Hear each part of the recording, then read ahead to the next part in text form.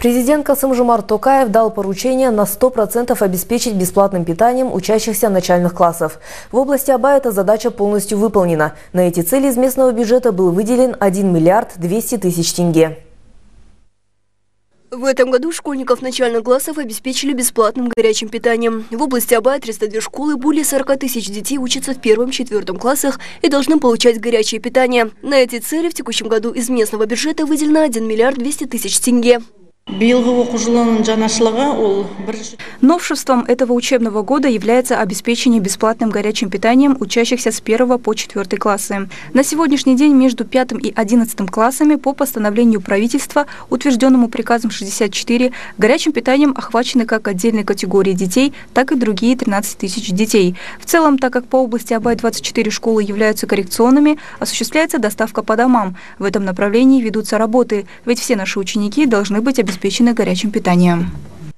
Меню в образовательных учреждениях составляется в соответствии с постановлением правительства Республики Казахстан от 12 марта 2012 года за номером 320 об утверждении размеров, источников, видов и правил предоставления социальной помощи гражданам, которым оказывается социальная помощь.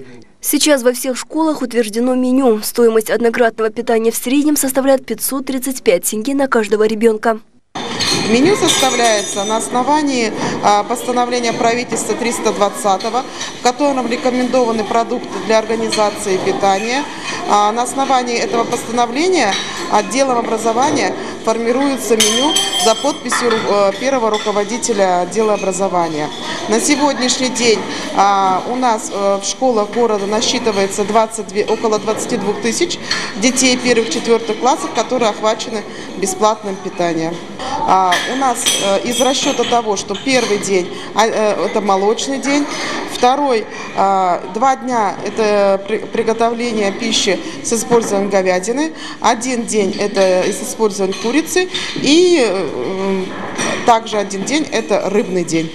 В школах области работает экспертная комиссия, которая следит за качеством предоставляемой учащимся пищи и проводит мониторинг. Талшин Шакартхан, Арыла Малиханова, Ильжан Макзумов, телеканал «Семей».